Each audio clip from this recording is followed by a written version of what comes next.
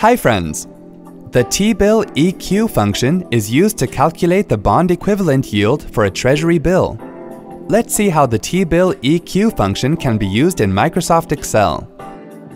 Open the desired Excel worksheet. Here for demo purpose, we are using a worksheet according to the T-bill EQ function. The T-bill EQ function syntax has the following arguments. Settlement that is the Treasury bill settlement date, which is the date after the issue date when the Treasury bill is traded to the buyer. Maturity.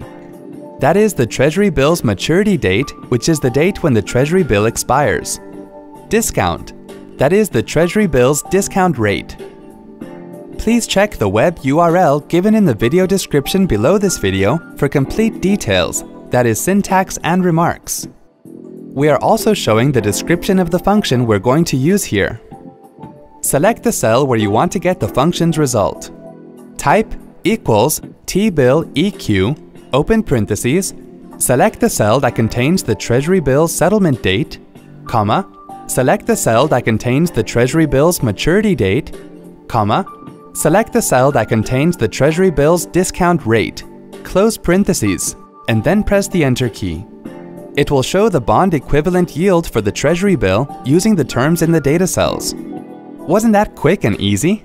Thanks for watching. For more details, click on the i icon on the top right of the video.